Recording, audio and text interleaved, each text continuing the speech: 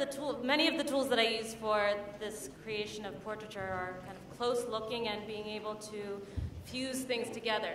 And I find sewing to be a good and useful um, literal tool and also kind of a metaphoric tool, putting together disparate parts as you might see in a quilt, which is the name of that first video, but as you also might find in a garment. And figuring out what the profile, what the uniform needs to be for your, your the subject of your portrait, figuring out um, what kinds of language they need to use to convince people of their, the authenticity of their, their identity, um, and being able to kind of haunt a space. I think a large portion of uh, you know, what we receive through a portrait is a sense of a representation of something that is past. And that representation, as we see it in a painting or in a drawing, um, it's not a ghost or a photograph. It's not necessarily a ghost, but by performing those portraits, by performing that persona, um, in some ways you can enter the world of representation as a ghost. I think a lot about um, Beloved, Toni Morrison's text, which I read with Meg, um, where the idea of the ghost um, is very much present with the characters and haunts them. Um, as I mentioned, this idea of metaphor versus metonym. A metonym, um, maybe it'll come up in class, but it is the, unlike a metaphor, which is a comparison between two things, a metonym is a renaming process. So you might say that the White House issued a statement today. We know that the White House didn't speak with a little voice or its little mouth, but in fact, that the White House says um, the, the uh, administration spoke. And I found that through performance, I could um, draw connections between the contemporary world and the historical world, not through comparison necessarily or a simile, but by just entering and wearing that uniform and wandering around haunting Monticello and asking people to think about, asking other people to make the connection, inserting myself into other people's language um, so that they could, they could consider the distance or kind of the narrow distance between the past and the present. This performance was called Auction, and in it, Sally Hemings auctions off items that she would have made for Thomas Jefferson. I was interested here again in this idea of parafiction. So, um, parafiction is kind of like the way a paramedic performs a surgery, maybe in the ambulance on the way to the hospital. A parafiction is kind of a quick suturing together, a sewing up of um, fact and fiction, um, maybe placing fiction within the world of fact such that it almost looks like fact. And I've been interested in all of these works and figuring out, as I said, how to make the past seem real, how to make it seem alive, how even to infuse um, facts with a certain fiction that make them even more real. This took place in Brooklyn in a space called Pioneer Works. Um, and there was kind of socks, pillowcases, uh, love letters, handkerchiefs, I was interested in, as an artist, standing on an auction block and um, having to kind of explain the works, give each work a story, and see if people would buy into them. And also to, of course, stand on the auction block as a slave, doing a kind of reversal of what people might ordinarily find, uh, you know, in a reenactment. Here again is this video. Um, Before there were motorized vehicles, an enslaved worker, David Hearn, was securing and hauling loads with a mule cart or wagon around and beyond Monticello. People knew that they were literally towing with tow. Tow was, and still is, a coarse, natural plant fiber produced from the stem of hemp or flax plants. It was used to make yarn and rope strong enough to pull heavy loads, raise windows, enforce executions, and weave sails, sacks, and sturdy clothing for workers on plantations in America. It has been the modifier of both the metaphorical and the literal meaning of homespun.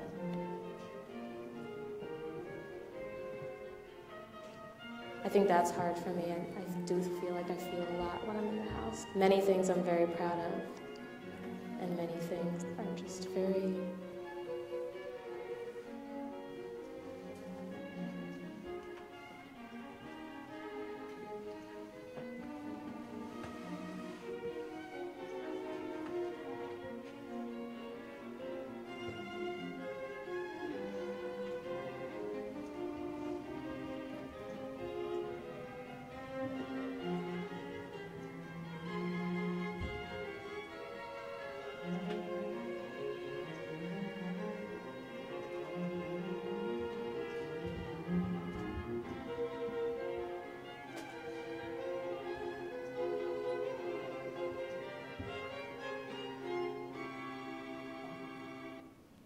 think another way you can construct a portrait is through understanding what kinds of work a person does and also what kinds of works go into the portraiture.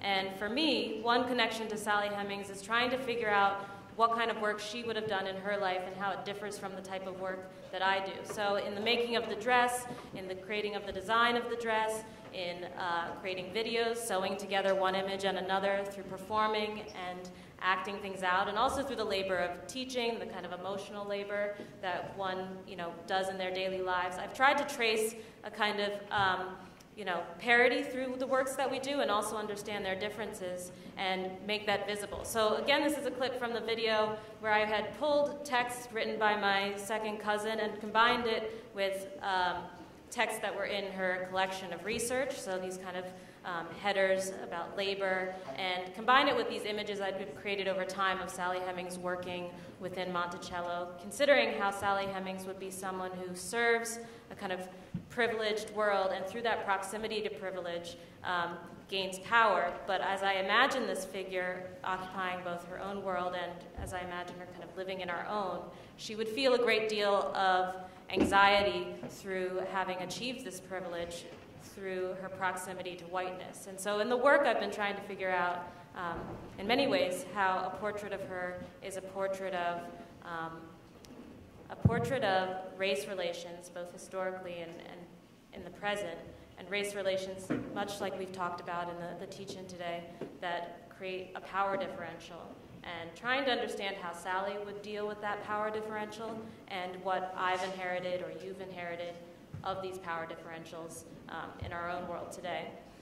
Um, a really fun project for me was a commission. The um, Metropolitan Museum of Art asked me, the education department there asked me to do a couple of tours. Um, I decided to give these tours in the period rooms. I was interested in someone who would be considered an object in her time, giving a tour of objects that are being cared for, uh, preserved. And many of the objects in the period rooms would have been made by an enslaved population.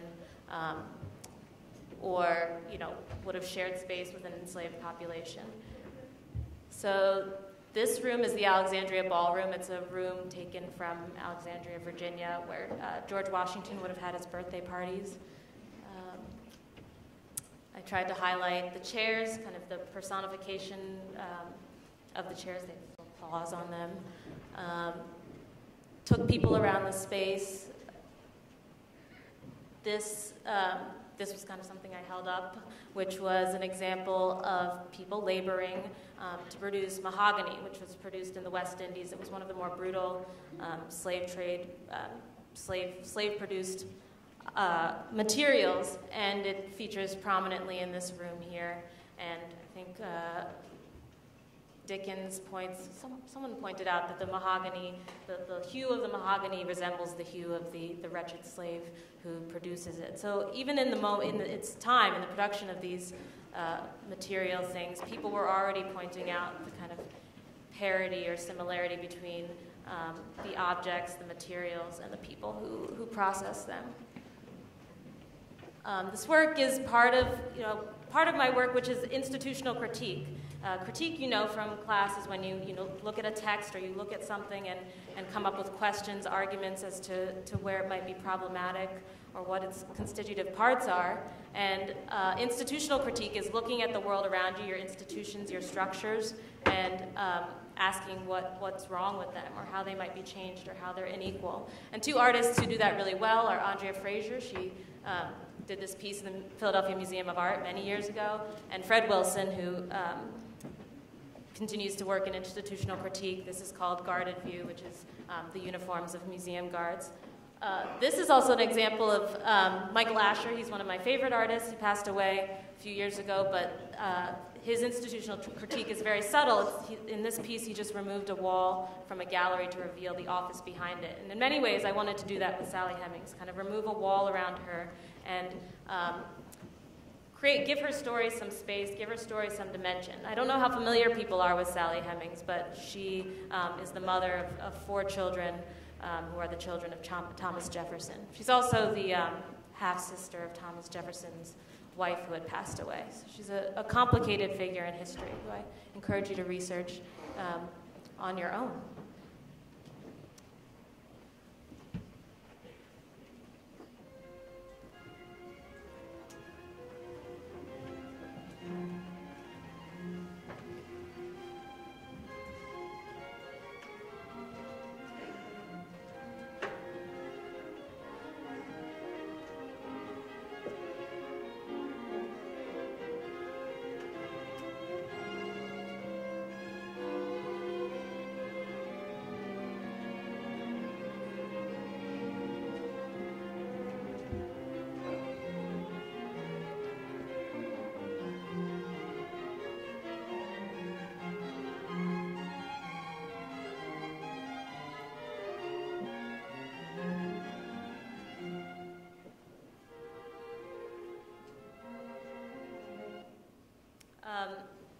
Again, interested in the geography of this kind of work and this power. So, uh, thinking about the big house as a site of institutional critique and how ideas of the big house, this term comes up in the study of um, the antebellum South, but how that big house um, also is something that has transferred into the present. So, institutions like schools and museums are kind of being metonymically uh, overlapped with the idea of the, the plantation. And so it's by overlapping these things that I am trying to create a kind of um, sewing together, a kind of meaning making out of putting images and words uh, together in the same space in my work. Um, and what I would encourage you to do if you are an artist and, and you want to create, I don't know, work that helps you or, or feeds you is to think about what makes you uncomfortable and then figure out how to dig deep into that. I think when I stumbled upon Sally Hemings, probably I think uh, Annette Gordon Reed uh, came here for some sort of talk when I was maybe in middle school, and she's the author who, who published many of these books um, about Sally Hemings kind of in the, the 90s. And it was on the tail end of this book that the DNA evidence uh, came out that linked Sally Hemings and Thomas Jefferson definitively. Um, I was really drawn to the ability of storytelling to kind of bolster scientific, um, scientific fact and to give people a larger picture of what this, the portrait of this relationship or the portrait of this person, these two people, in fact, um, looks like. Uh, we don't know the nature of the relationship between Sally Hemings and Thomas Jefferson, except that we know that it involves a differential of power. And um, something I've been exploring recently in my work in, in Virginia is the kind of problems with Jefferson's failure to free his slaves and how that violence, even though it seems fairly, you know, maybe it didn't involve whipping or um, brutalizing people, was kind of a, a violence that uh, keeps that relationship from being anything other than um, something, uh, something bad. I mean, I, th- I, think ultimately we can't, we, the, the, the true burden of, of his um, slave ownership was that um, we don't get to know the dimension of people's lives within the slave system um, and within his home. Uh, you should check out this book, but this book especially uh, got me interested in, as I said, giving more dimension to Sally Hemings. One thing you learn in the book is that Sally Hemings spent two years of her life in Paris, and uh, she had gone over there with Jefferson's youngest daughter. He was serving as an amb- ambassador to France. And in that time there, she had, um, she had a chance to be free. Slavery was illegal in France, and so she and her brother James uh, were petitioning for their freedom near the end of their stay there, and then ultimately negotiated with Jefferson. Um, he convinced them to come back to Monticello and return to slavery. Uh, her brother, James Hemings, was promised freedom if he taught someone how to cook. Uh, he was learning French cuisine. And Sally Hemings was promised freedom for all of her children if she returned to Monticello. And I was really interested in what would go into this decision making, why someone would choose to return to slavery when they have an opportunity to be free. And so this, this project, Hemings in Paris, involved traveling to France. It was um, kind of sponsored by a Kickstarter, which many people supported. This is one way you sometimes have to get your work done, to beg people. Um, but uh, but it's good. It's good to have backers and it's good to have people supporting your work, especially, as I said, if it's work that makes you uncomfortable. It can really help to pull people into that process um, and feel their support as you, um, you work, on, work on challenging projects. So here's a clip. No,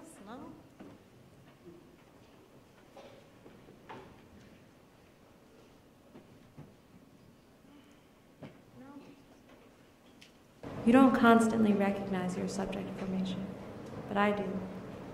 I see how your name will be called and mine could be forgotten. Unless, unless of course I called my own name. Sally, Sally, and tell my own story for myself and for those who follow. says in this building, Thomas Jefferson, when he was ambassador to France from the United States, they would consummate a 38-year relationship, conceiving the first of their seven babies, children. Not all of them survived, and where she would find her freedom, but then give that freedom up to go back to Virginia. I'm really wondering if I should stay here. There seem to be so many ways to be free, but it also seems scary. I never get to see my family again, and I wonder if this would be the place for me or whether I should go back. When you're free, you can make everything you want. You can realize some crazy dreams because you're free. Yeah, yeah. If you go back in the United States, the other American people, when they're looking at you, they will just say she's a slave. And if you I stay in come. America while you while Yeah. your kids grow up, they see you, but then they see all the others, and they're not free. They're still slaves. Yeah. So then they're like, what's the difference between us and them? Moi, je dirais que hum, bah, je ne devais pas repartir aux États-Unis parce que je pense que si Jefferson aimait vraiment sa femme, il devait l'affranchir. Il ne devait pas lui, dire que tes, descendants seront, fran- seront affranchis et elle ne peut pas. Je pense un- une sorte qu'elle mène, qu'il mène envers sa, femme. C'était ma, ma place, je devais rester. euh, je pense que la meilleure des choses pour un homme, c'est d'être libre. Et quand on est libre, on peut faire tout ce qu'on veut même, recon- même euh, repartir de zéro, ça sera plus facile. Bref. Bonjour, madame. Bonjour. How are you? Oui, yes. Hi. Hi. I'm an enslaved person. I work for Thomas Jefferson, and uh, he has, has let me know that it's time to leave. And in the course of being here, we started a relationship. And I wonder, with your expertise and just your experience being here, is there anything you'd advise? So, of course, all I know about you is what you just told me. What I would say, and this is something that I tell to my productivity clients, for me, the definition of productivity is knowing what matters and getting it done. What is the most important thing to you? Is the most important thing to you being with your family? Or is it your freedom? What does freedom mean to you? Regardless of what he tells you, there are no guarantees if you go back. So if you stay here, would you have enough influence, enough whatever it takes? Those are the questions. I can't answer them for you, but perhaps that will give you a little bit of perspective and, and a, a way to look at it.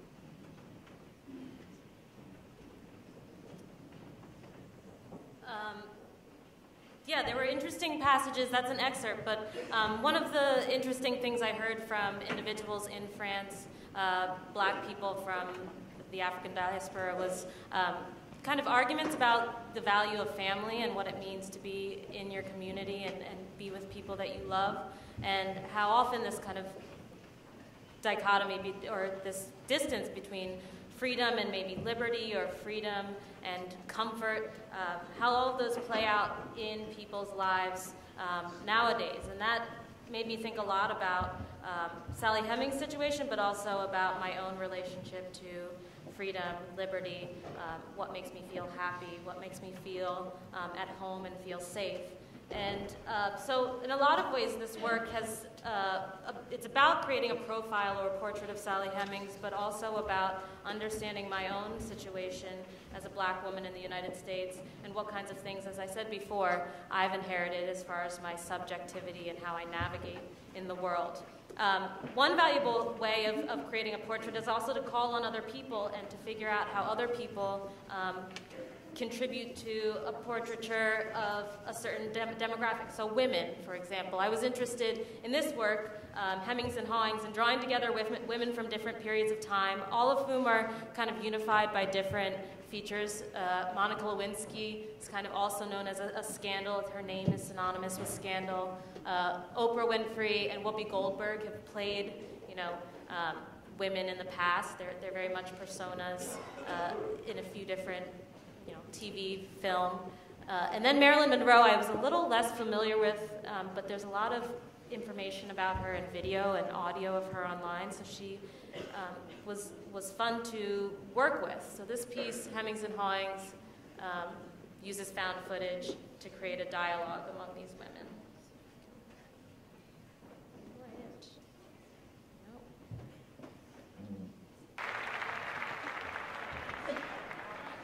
Moving on, I'd like to welcome today's celebrity guest, the kind of white male actor that people often find indistinguishable from other white male actors.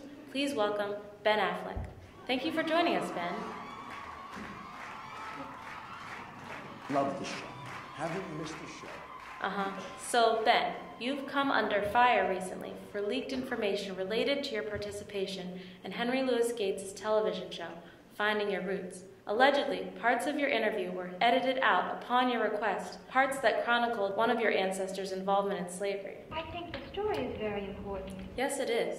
I believe in the power of story, in the power of stories to change things for the better. While, of course, we're sympathetic to victims of hacking, we also wanted to talk to you about why you were so compelled to hide this story about your ancestors. First of all, if you're critical of something and you know something's wrong, It's like watching a soap opera that an actor is in, reading lines that I don't want to say in a part that I don't want. This bears no relationship to who I am. All right, let's get some things straight. Some girls will fall for that, but not me. Can I see a show of hands of anyone here who does a self without context? Yep, that's what I thought. I went around my whole life But I think I'm not the only guy who's experienced this. Thinking when looking at myself, that people not really conflate us with our forefathers, and I real I couldn't have been more wrong. Inside, I am not sure. I'm a My name is Ben Affleck, founder of Eastern Congo Initiative. I'm your father. I handle. I am damn more. I know best. I'm gonna get away with it. Excuse me. I'm sorry. I'm sorry. I was had too many cups of coffee. Um, but it's, the, it's ma- the masks come off and you a find reflection of a person who understands the country's past. And eventually, it makes you look Like a damn fool. unduly bad. Crazy. So you're saying back off a little. But do you understand I'm the victim here? Maybe you don't know what it was like for me. I know what it like with what I've been. All my life I had to fight. Without my past, without all of those elements, I would be somebody else. Because I know that my being who I am and where I am didn't come just out of myself. Since you've opened this door, we gotta talk about these people out there who find the hardest resistance. No one can truly understand. That I was affected. And what happens to you after a while? Things the way they are. You feel a sense of exhaustion. I get so tired of people coming in with their problems. It's too icky. And they want a shoulder to cry on, and generally it turns out to be mine. Your impulse to bury this story, Ben, says more about the white privilege you've inherited than your ancestors' involvement in slavery does. You had a chance to be courageously vulnerable and illuminate our shared humanity, but you missed it. We are all vulnerable. Are your empathic abilities coming back? As you know, this would be the place to apologize and get up to get up over all of that. I'm sorry. I think that you're defined by how you rise more than how you fall. Um, so that was just the middle part, and it, uh, it's a middle part that I like. It fo- focuses a lot on Ben Affleck, um, but uh, but I, I think he's an interesting figure who I keep coming back to. The work has always been about Sally Hemings and creating a portrait of her, but recently it's kind of shifted toward um, trying to understand, kind of in the wake of the um, rise of white supremacy and neo-Nazism. What the ideology is around whiteness in America and how Sally Hemings can shed light on that, how through performing her or reflecting on her, um, I can um, examine some of these parts of whiteness that maybe um, haven't been closely looked at and also belong to me as much as they belong to a, a white majority. Uh, so I had stopped performing Sally Hemings and had stopped performing her um, slowly phasing out of performing her. But one way that I got out of that, which was nice, was to participate in something called Monument Lab, uh, which was here in Philadelphia. You should, you should check it out. It's over, but there are still kind of remnants of the projects um, around the city. My project, Sweet Chariot, is a video scavenger hunt through the city of Philadelphia. Use your smartphone to um, find these videos. They're hidden in, in Old City, and they tell the story of the African American struggle for freedom. And for me, it was nice to be able to pull together a chorus of, of individuals, not just Sally Hemings, um, but other African Americans living here in Philadelphia, which is really a border city, um, and to have them um, kind of speak in unison through this project about what freedom means. Again, freedom versus liberty, uh, family, home life, what it means to sacrifice and to fight um, on behalf of, of, bringing justice. So um, this is just a little promotional, whoops, ah, promotional video. Hi, I'm Monument Lab artist Marisa Williamson. I'm here to present my prototype monument, Sweet Chariot. Sweet Chariot is a video scavenger hunt. Use the map and the app to unlock eight video clues around the city of Philadelphia. Sweet Chariot explores the African American historical struggle for freedom. The tour begins here in Washington Square West, which used to be Congo Square, a burial ground for Africans who had lost their motherland. Find the Washington Square West Monument Lab Research Laboratory. There, you can grab a map and download the app to begin your journey. Using this poster or the back of the map, unlock your first clue. It's a good thing you found me. I'm afraid I'm lost. There are a secret network of doorways you see, and once you go through one and then another, it's hard to find your way back. But I think you can help me. Throughout the city of Philadelphia, there are stories of the past, hidden in plain sight. Use the Sweet Chariot app to unlock eight videos that tell these stories, stories of the African American struggle for freedom. Um, so that project was really fun. It involved collaboration, and I would say that collaboration is um, a really wonderful way to get out of your comfort zone, to do it um, kind of safely. As I said, getting help from others allows you to explore and feel supported as you um, move into to, to realms that may feel uncomfortable.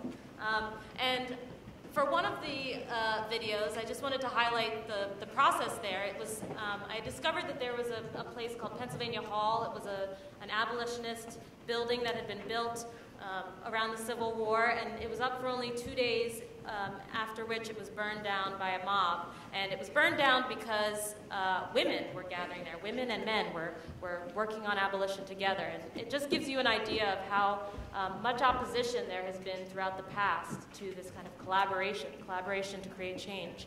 Um, and I was trying to figure out how to bring this story of Pennsylvania Hall to life, and also at the same time that it was burned down, an orphanage uh, for black children was burned down. That was on the same night. And I had just been very moved by the discovery of this historical fact. I found there was a piece of uh, music that had been written by a black composer in Philadelphia um, on this occasion to, to, kind of as a fundraiser for a ball. And then um, ultimately, I was looking at my dad's paintings and thinking about how his paintings, uh, the recent ones, involve kind of water and these close-in shots of, of, of, water flowing over rocks, created a sense, for me, of kind of um, something plummeting into an unknown space. And I wondered if, kind of emotionally, the emotional content of those paintings could be um, overlapped with um, what I was feeling, images, you know, video,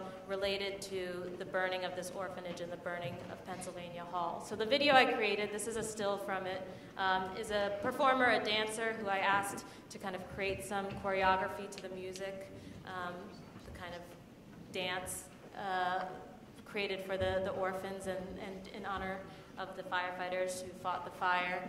Uh, I had my, my partner play the music on the piano, and then um, kind of green. You know, I use green screen a lot. I don't know if you are familiar with green screen or how it works, but you can key out um, a color. And so I keyed out the green in the video and replaced it with uh, my dad's paintings. And I found that the overlap, the kind of sewing, the fusing together, the quilting together uh, of one thing and another created a really compelling surface and a really compelling um, kind of new narrative for something, this pain I was feeling about the past.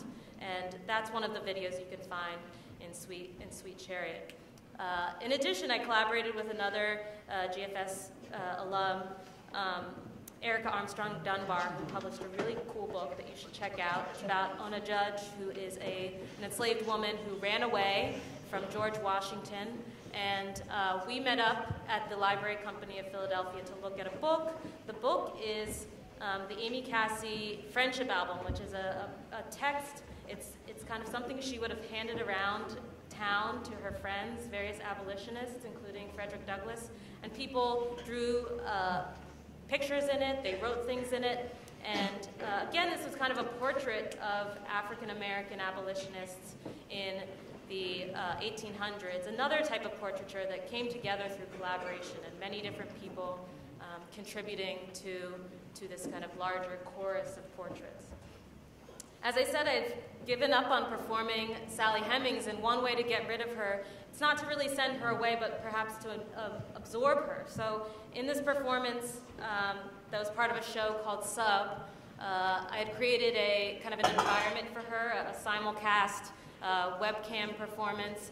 There's a video featured in the space, and then on the occasion of the performance, Sally Hemings um, served people cake. It was kind of a going away party that also involved Sally Hemings trying to transition out of this uniform that she's been wearing. So at first I was trying to put on clothes and figure out if I could be someone else on top of Sally Hemings. But the reality of Sally Hemings is that um, she's not here. And while she is useful in some ways to enact this kind of critique, this, this institutional critique, I can be more effective critiquing as someone who kind of absorbs Sally Hemings' impulses and her agenda, but performs as myself.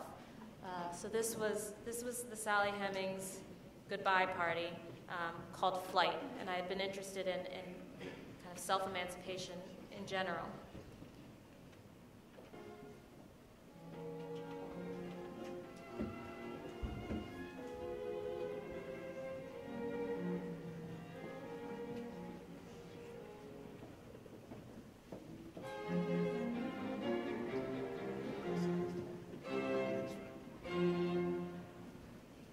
And moving on from that, I've tried to um, figure out how to honor Sally Hemings, not by performing her, but through memorializing her.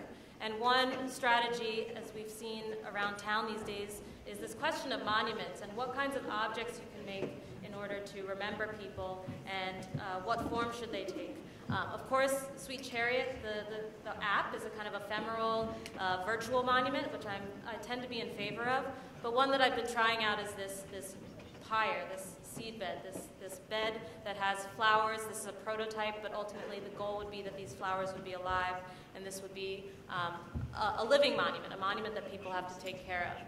So this was installed in a, a gallery in Brooklyn, but um, pyre has also appeared in the street. This is an installation of the pyre in the downtown mall in Charlottesville, Virginia, where we know recently there was um, a death uh, in connection with this know what you call it, a riot, um, the, the Unite the Right March. And so now that I'm an artist in residence in, in Charlottesville, I've been thinking and having a different context for thinking about monuments and the history of Sally, Sally Hemings and what it means to, to have her memory be alive and um, be material in some way. So here's just there's a monument that was covered up by a bag, a, a, tarp. It's recently been uncovered, which has caused a lot of issues, I, I think, in Charlottesville since um, this Robert E. Lee monument, I think, stands for nothing more than white supremacy um, and its perpetuation in this country. And um, yeah, you should go to Charlottesville. It's a very, very interesting place with a lot going on. So part of um, part of the celebration of the life of Sally Hemings, this exhibit that recently came down there, was four performances. So the first was as myself, um, kind of sending Sally Hemings off uh, which involved this slideshow. I'm interested in using kind of old, old forms. Um, it also involved this shrine to Sally Hemings, putting the dress up um, with this wallpaper that appears every so often in the work. It has the same pattern as the dress. Um, and then moving the bed, the kind of, um, I'll, I'll end soon. Um, the bed serving as a prop. So as you can see on the bed, there's this arm. The arm comes from the narrative from Kindred. If people are familiar with the book, as I said, Dana loses her arm. And I was interested in the place where this arm lives after Dana is gone, um, gone from the past. Uh, this is just the end of the video. but I will just quickly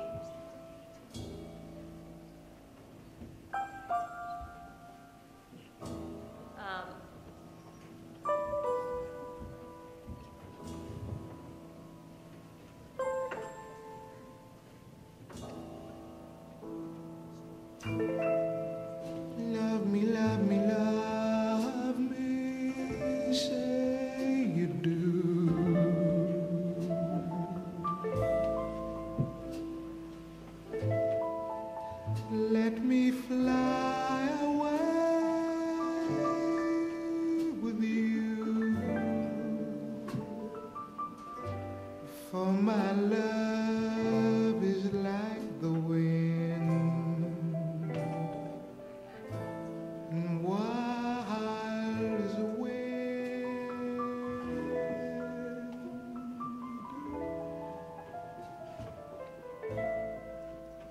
As I retrace the steps of free and enslaved workers at home and during my historic site interpretations, I perceive a need to acknowledge details of their lives and work. Many families have remembrances of the universal and ancient craft of making and remaking cloth. Like loomed threads that repeatedly travel over and under each other, weaving crosses cultural boundaries, intersects all disciplines, covers huge spans of time. I may never find an actual rug or cloth hand woven by my ancestors, but for me, that is not the most important goal. In seeking the elusive, I hope to extend the metaphor and present a living history as well. I'll end with that, but I do want to say that uh, this process of creating portraits is a process, especially if it's a self-portrait, um, that doesn't end, and it really requires a certain level of collaboration, a certain level of risk-taking. Um, it's good to know your boundaries as you take risks. It's good to know how to play safe, but also to know especially how to dive into something headfirst, um, knowing that the risk is worth it. And I would say that one of the values I've gotten from uh, GFS is kind of this Quaker value that, uh, you know, the Quakers shake. Whenever they're doing something, they're shaking. That's where it comes from. And I would encourage you, if you're going to do something, you should probably be doing it shaking. You should be scared. Um, and probably that fear is a good sign that you might be onto something interesting. Uh, so yeah, thank you so much. And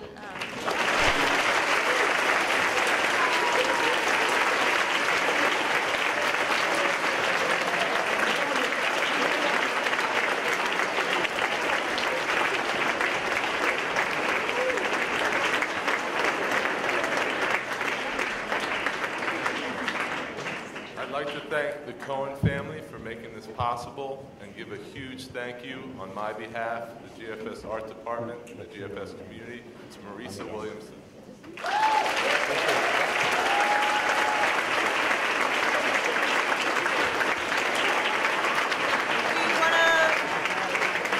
want to let you know that Marisa is going to be available for students. She'd love to meet with anyone who would be would like to speak with her.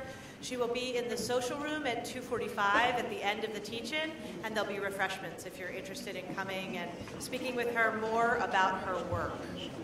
Okay, we're gonna dismiss for lunch, but if we can ask middle school to please sit down and wait a second, because we're, I know everybody's on a time crunch, but we're like especially on a time crunch.